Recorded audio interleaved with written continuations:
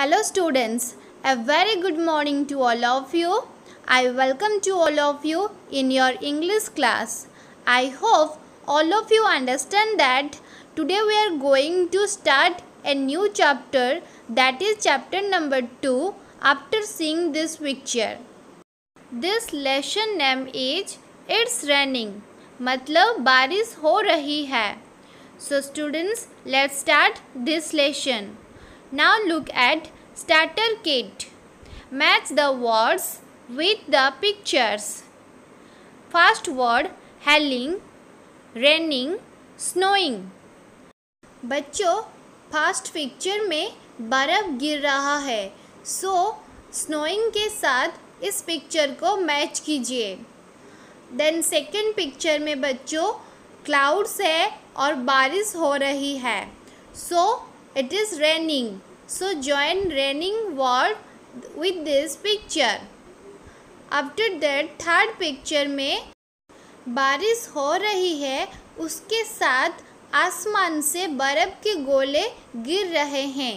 सो so, बच्चों ये है hailing now get set drip drop drip drop drip drop falls the rain बच्चों, जब बारिश होती है, एक साउंड होता है, tip tip tip tip.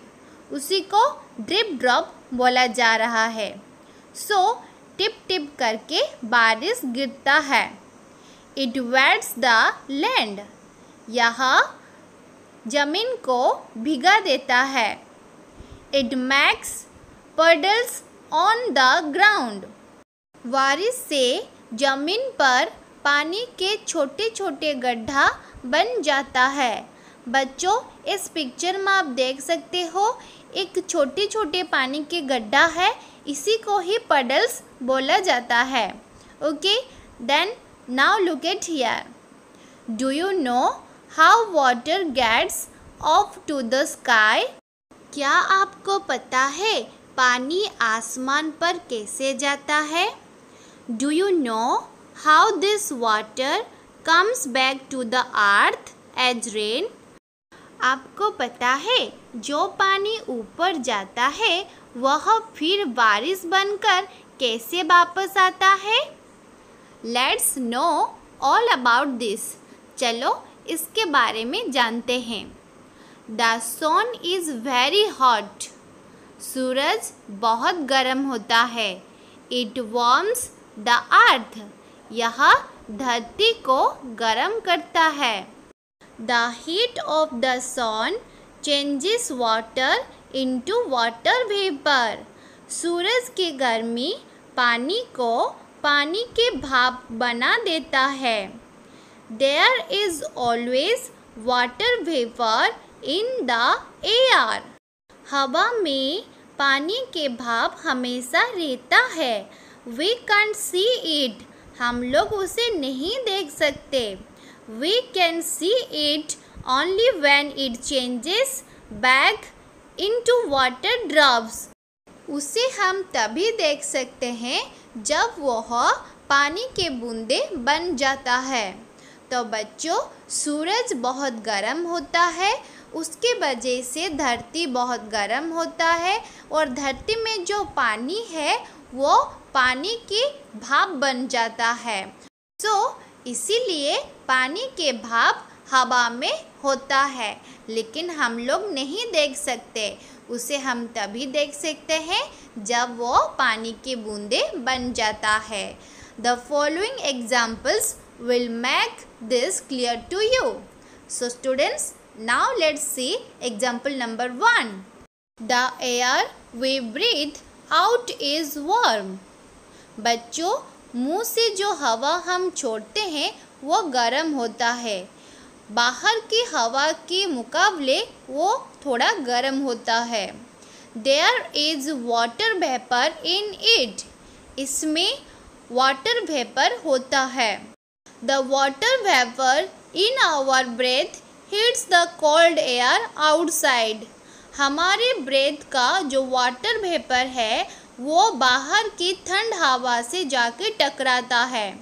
It changes into little drops of water यह छोटे छोटे पानी के बूंदे बन जाता है।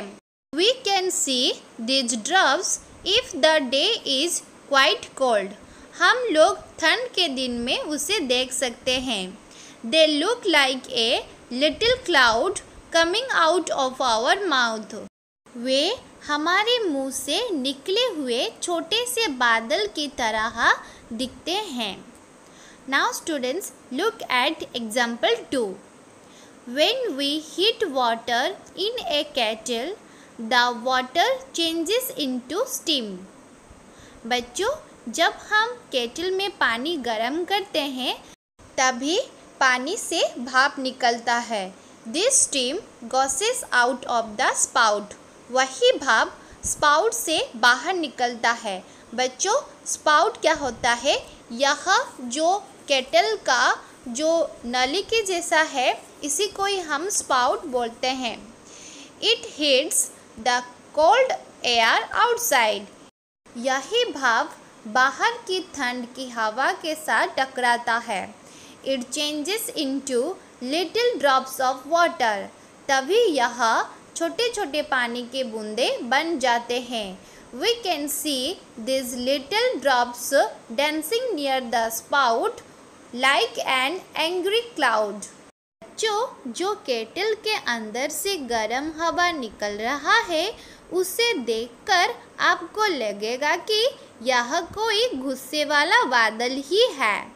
ओके बच्चों I hope you all of you understand what is water vapour now look at Page number 13. Thus, we know that there is water vapor in the air all the time, though we can't see it. बच्चों हमको पता चला हवा में हमेशा water vapour रहता है भले ही हम उसको नहीं देख सकते हैं the heat of the sun changes water into water vapour पानी सूरज के गर्म की वजह से पानी का भाप बन जाता है। The warm air carries it higher and higher into the sky गर्म हवा उसे आसमान के ऊपर के ऊपर की तरफ़ ले जाता है।